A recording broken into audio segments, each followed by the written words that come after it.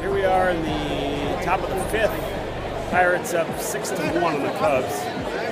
Just wanted to uh, get your get your feelings on how what was going through your mind as you walked out to the mound for that first pitch. Actually, right when I hit the grass and I was walking out, I said I out loud I said, "Holy shit, this is fucking awesome!" Like that, just like that. So that was going through my mind. And then when I got to the mound and stood on it, I was like, "Holy shit, this is fucking awesome!" And then it was over before I knew it. So you're really trying to savor the moment as much as Oh yeah, oh yeah, it was, it was going, it too fast. times.